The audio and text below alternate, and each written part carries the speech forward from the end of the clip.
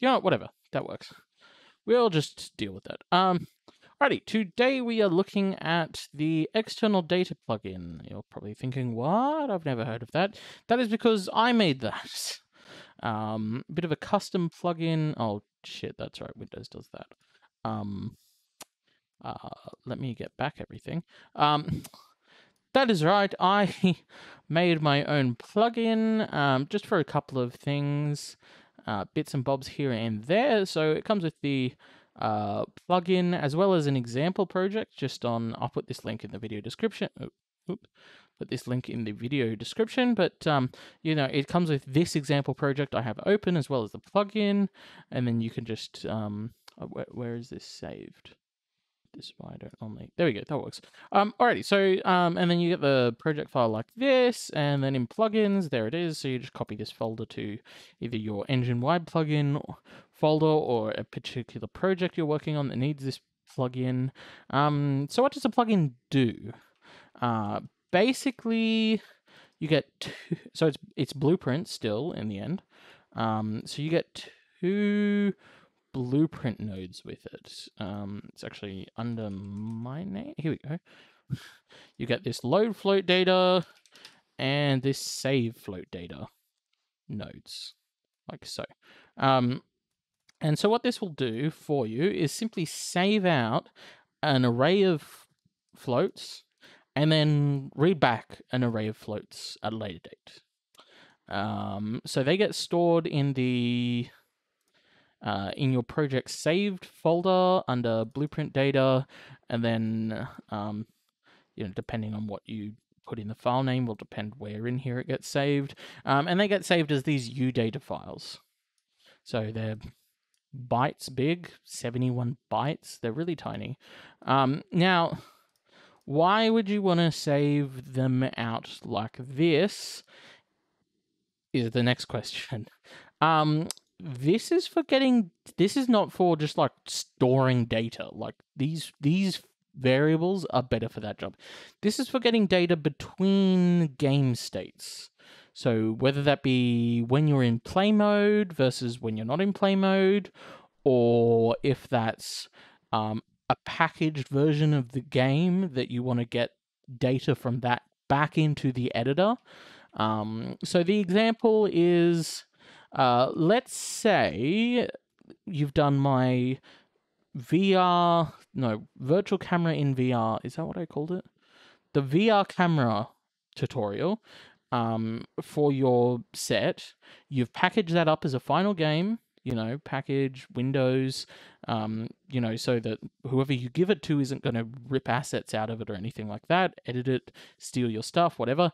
Um, and but you want to, you know, they're going to find a camera shot they like, you want them to be able to save that camera shot so then you can open it back up in the Unreal editor and be like, oh yeah, this is the camera shot you came up with. Um, so that's where this plugin comes in because you can, you know, use these blueprint nodes to save out float data. So in the case of my camera, you know, we are um, at the moment we're just storing the camera's transform so location and rotation, but you could add anything that can be stored as a float.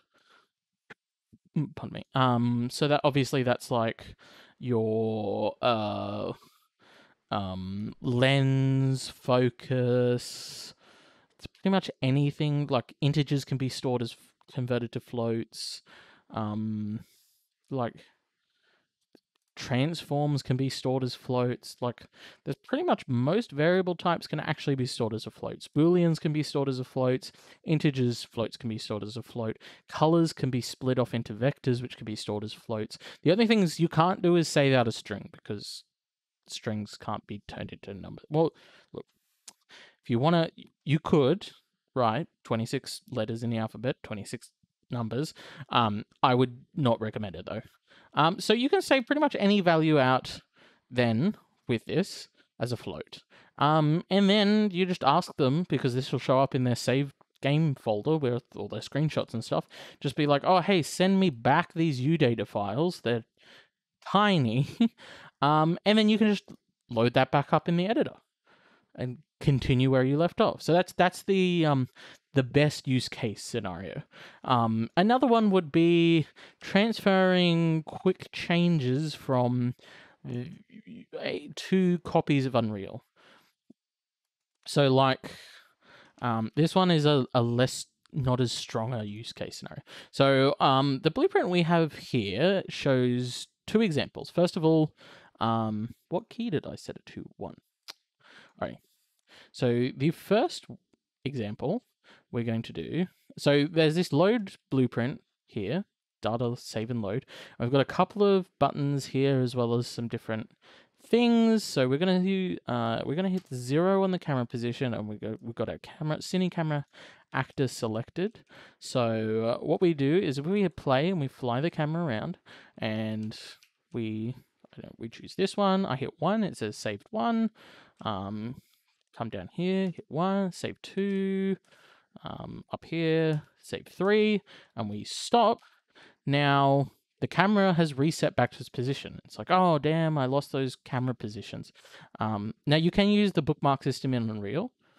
Um, that is a thing.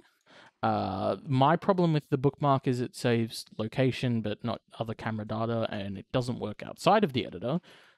So, um, but what we can do is we can come back over to the data, save and load.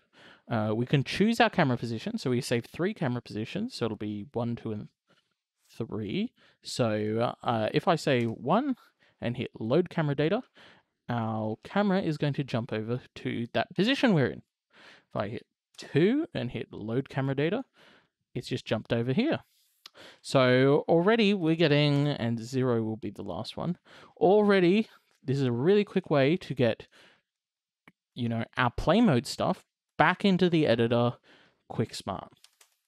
So one load camera, you know, and and you could save these as just camera positions. You know, this work this technically you could set this up to work straight in the editor. Um, just turn the the one into like you know make a custom event, save save camera, save camera, and then just hit call in editor, compile, and then all of a sudden we have a button save camera. All right, so the other thing I have in this is if you wanted to, in my example of simple things to transfer between two copies of Unreal, um, or just as a way to save these and like you could use this, you know, as a universal thing. Like we're going to save all these like lights for all these different studios, I guess, different Unreal projects, um, is the light one. So under here, I have load and save light data, and we have light setup versions. Um, so what this means is if I go like setup one and hit save light data, it's going to say saved. Then if I move these lights around, change their intensity and their color, make that one blue, uh, green, not blue, make this one blue, uh, make this one uh, just white, I guess, and I don't know, move the sun to be directly above. Yep. Okay, and then we go back to our light and we say this can be setup number two. We can hit save light data. It says saved. So if we go back to here and type one again and hit load light data. Alrighty. Problem fixed. They've changed the way the garbage collector works in Unreal in the editor, I believe. Uh, making this a little annoying to work in editor. So now if we uh, da, da, da, change that to red, um, keep keep these as these actually. Um, so we go light setup, and then we go uh, save light data. It says saved. Um, oh, don't mind those extra parts that I just put in that in there for debugging. Um, let's change these to different colors. Let's say blue, and this can be red. Uh, and then we say this is light setup version number two. Save light data. If we switch this back to one and hit load light data, it changes back.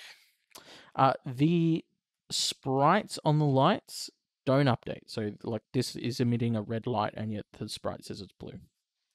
Um, it even says it's red here. I I don't know why. Um, I just I straight up don't know why. I don't quite know how these sprites work to begin with. I, they are a material, maybe? I don't know. It's strange, but yeah, there you go. Uh,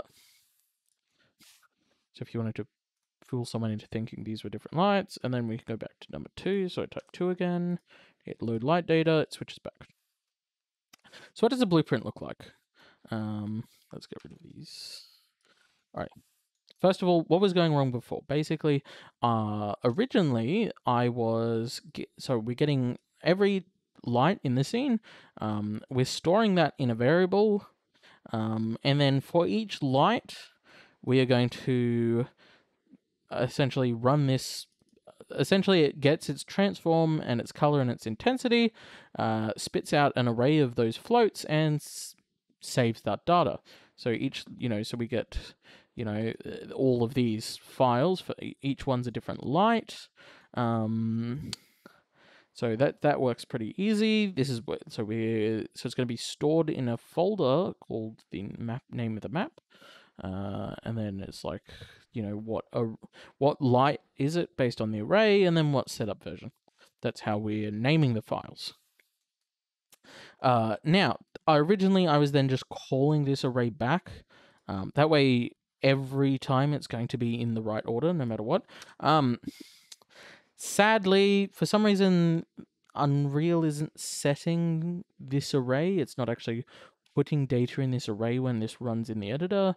Um, I'm not sure if this has to then be public or what to get it to do that correctly now. Um, that must be something like really recent. So at the moment, I'm just doing the exact same thing. I'm getting the, all the actors again. Um, and then we're doing the basically the exact same thing in reverse. So we're running the exact same file name code to get the file name in the opposite, you know, except we're using the load float data rather than the save it. And then we're splitting out the array. Um, this macro here is literally just turning all the different data back into some more handy versions of it and then we're obviously setting the rotation location the light color and the intensity based on that uh, so it's all labeled so hopefully it should be pretty easy for you to reverse engineer or think up your own stuff um, for the camera uh, we are doing a very similar thing so first we're making a name for the file. So adding a is that a forward slash or backslash? I think that's a forward slash. Adding a forward slash will then turn whatever's between the two forward slashes into a folder. So keep that in mind. So it's then going to give us our camera position, which is that integer we were using, and just a suffix of camera so that it never will be the same as the lights pardon me. Um, we're then getting whatever the camera the player is currently possessing, uh, splitting out the this only is doing transform, but you can add more stuff in here if you want. Uh, we're then saving out that, uh, you know, saving it out, and then you know this is just spitting out a string saying, "Hey, that worked" or "That didn't work." Um, then when it comes to loading, we're doing the exact same thing, the same file name again. Uh, we're loading the data, and then again. Actually, I'm using the light one again just to get the location and rotation. So, and then we're setting that. Easy peasy. So, um, this a couple of things to keep in mind. This is not a better option than using these variables. So if there is something where these variables in a blueprint will work, use them instead of this. So where they don't work is getting data from a packaged game back into the editor or from play mode into the editor. This is where this plugin comes. If it's just like, oh, I just want to store this data, then do it with a blueprint one because that's going to work so much quicker. The other thing is storing a lot of data in a single U file, a U data file is it starts to be a drag on performance when it reads that file back. So, like, that's why each light is being stored as its own file because it's actually faster to read back lots of files with a little bit of data in it than if I was to say put 20 lights worth of data into one big file. Then it takes forever to it just chugs along trying to read it all back. And that makes also makes your job harder because it's like you got to, you know, it only splits back out an array of floats. So then you need to somehow sort that by light. in this case. Um, so I would I would avoid more than like I want to say like twenty. I haven't pushed it. Um, how many floats is it saving here? Nine. Nine's fine. Twenty probably fine. Fifty? No. I would so I I would just like do a bit of experimenting because I haven't tested it thoroughly. Um, when you go to download this yourself, if you want it, uh, there will be another release because I've made a couple of slight tweaks to it. Mainly flipping around some of the nodes on here, cleaning up some of the code, and this project I've just will have the fix in it for the um the light thing here to work. But yeah, that that is my plugin um, that I have made. I'm very happy about it. Um, it's more or less open source. Like you can see the C code if you want to tinker with it. I mean, it's pretty simple, so I don't know how much you could tinker with it to begin with. Um, but it shows up under blueprints, and there it is, external data. So, and that just takes me to my LinkedIn. Um, yeah. So there you go. Thank you for watching.